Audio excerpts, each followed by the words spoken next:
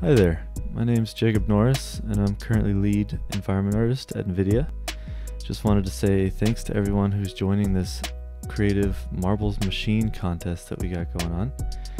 And I'm going to give you a quick overview of building out your marble machine and uh, setting up the marble and just helping you get along your way so that you can build some awesome, epic, and really creative machines that we can see uh, will be giving out first, second, and third place prizes for this thing. So we want to see the best and most creative work that you can come up with. Provided for you, we've actually created some new assets that you can use from the Marbles scene, as well as all of the original Marbles RTX assets are provided. Now, to get started, this is just a new scene inside of Omni Create which you can get from the Omniverse launcher. And I'm just going to go ahead and create a simple plane here by going up to the top, go to Mesh, and click on Plane. This will just give me a background to make it easier for you all to see as I'm working. Now, you should have the content provided to you already inside of Omniverse, and the location will be given on the contest page so you can find them a lot easier. In the meantime, I'm going to click this eyeball up here and hide the grid. And under show by type, I'm also going to hide my lights just so that I can make a nice clean scene to work in. Now, it's really easy to just grab anything from the content browser, drag and drop it into your scene, and after a moment, the textures and the model and everything will all be properly loaded in for you. Then we have a nice pivot here that you can change orientation, rotation, and translation similar to most all the programs with W, E, and R. Now, I'm not going to go and build an entire marble machine here at the moment just because I don't want to give away all my secrets.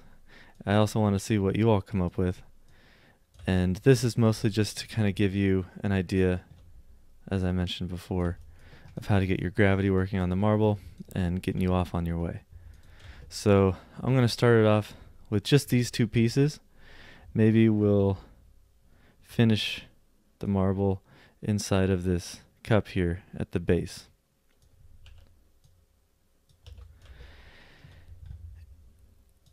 If you want to use the provided marble asset, that'll be the easiest. But if you want to create your own, I'm just going to create a simple mesh under the sphere option this time and make it a bit smaller and easier to work with here.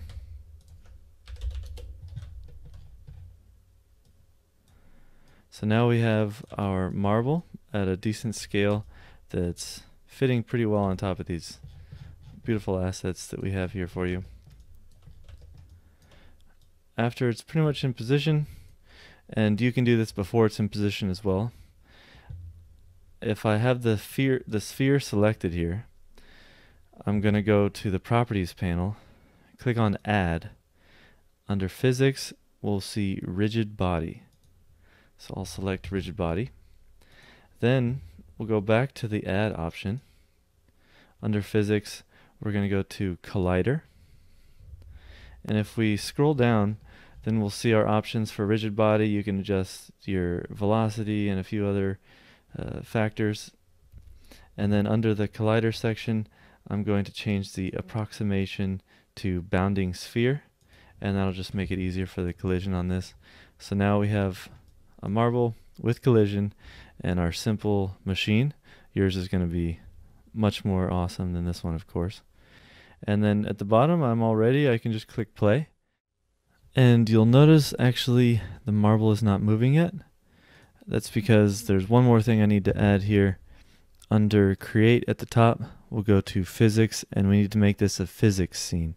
So I'll select that and now we have a physics scene in our stage. And we hit play again and now we'll actually see the marble rolling. Since this will be a marble machine, we want a lot of marbles coming out and we want a lot of stuff happening here to actually get this thing rolling through your whole machine. So just really quickly, I'm going to go ahead and duplicate this marble off a few times. That's going to give us some more marbles, mar marbles to work with, and we'll get this thing pushing along through the machine a bit, a bit more, a bit faster. And that should do it. So now I'll just hit escape to deselect everything, hit play, and we'll see what happens now with all these marbles. There we go. Now we start to see him falling through. That guy fell off a bit earlier. You'll notice I'm also currently in RTX real-time mode right now for the lighting. You'll want to finish setting up your lighting and actually change this to path traced mode when you're going to be rendering out your shots with your cool camera angles and showing off your machines. That way it presents it in the best possible renderer that we have in Kit. Thanks so much and we're all looking forward to seeing what you create.